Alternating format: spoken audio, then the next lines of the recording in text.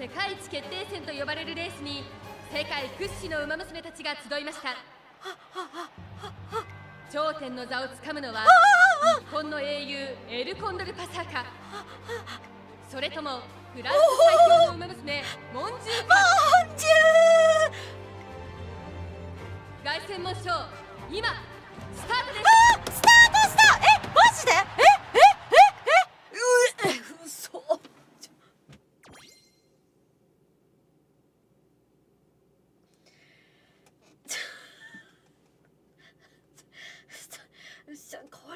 たせんの。ちょっとみんなこれどどれくらい待たされた？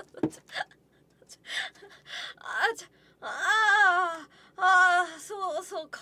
ああそうか。あそうだよね。次回が気になる状態で終わるのが前編だもんね。そうだよね。ああ明日楽しみ。た楽しみ。これえこれえええ4ヶ月ぐらい待ったの？みんな。やばいね。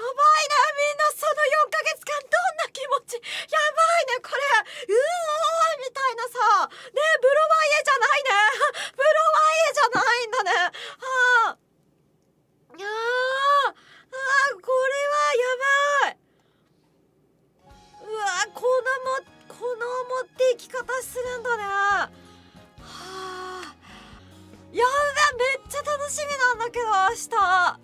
えじゃあもう出てるんじゃない？うわ